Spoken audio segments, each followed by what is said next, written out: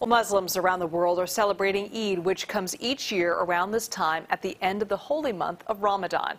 Here in the Bay Area, the Muslim community has asked for school districts to recognize Eid on academic calendars. Shawn Chitnis shows us or joins us now to share more on the challenges students say they face while trying to balance their responsibilities to school and their faith. Shawn? Well, as families who have their students in SFUSD are looking to next year and beyond, in 2024, Eid will fall under spring break, but these families want the district to not only accommodate but observe the holiday so that Muslim students can plan on getting Eid off each year. But the school district says there's a lot that they have to consider when building a calendar, including the needs of the community and their students.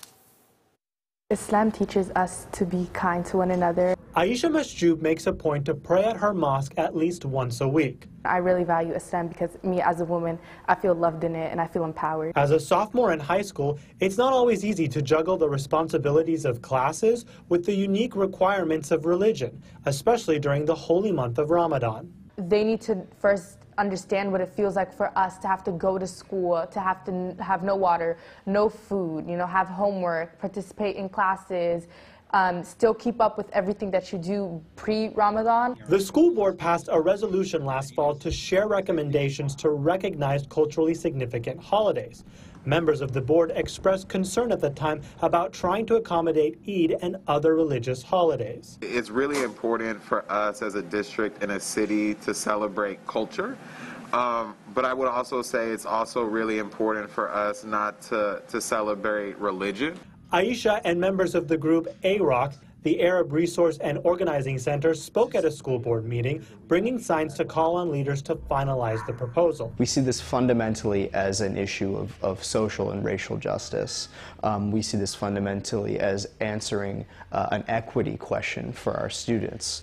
One concern brought up by district leaders last fall, accommodating all communities in one school year. Not every group is going to be able to have a holiday or time off, and so what does it actually mean to see folks, be inclusive of folks, if we're not able to give everyone kind of the same processes? The district has created a guide with many cultural holidays to help staff be more aware of what their students participate in outside of school.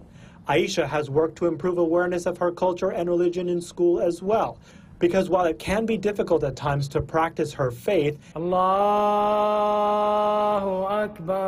has only strengthened her devotion. This is a hardship that we've stumbled upon, and so eventually we will have ease. If we, we just have to keep fighting for it, and one day we'll have a victory. It reinforces an important lesson happening outside the classroom.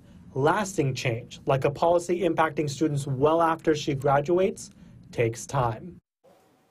So the district says they are working on a process, and Liz, that means that, that they would try to determine what new holidays that aren't currently on the calendar yeah. need to be recognized. Yeah, because they have the academic calendar to consider, and they have to have a certain number of instruction days, right? Exactly. So we know that there are 180 days that are required by state law. Then you have the union, which says that they want teachers to be working 184 days. So even to just add one or two days, according to the district, means they would have to change when the school district either starts or when that academic year ends. Yeah, it sounds like a small change, but it's actually a bigger deal. Right, a lot to consider. All right, Shawn, thanks so much. Yeah.